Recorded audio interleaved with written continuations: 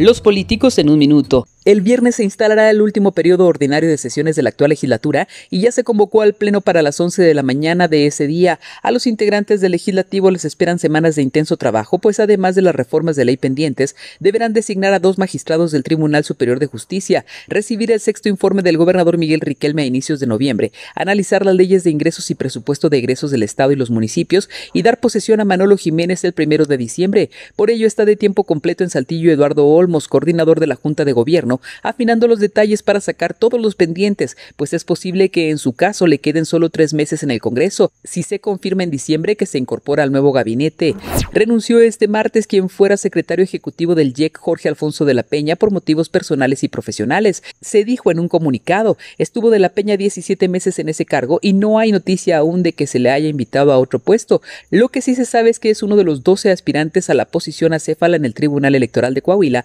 y transitó por todas las del proceso al que convocó el Senado de la República, que permanece estancado.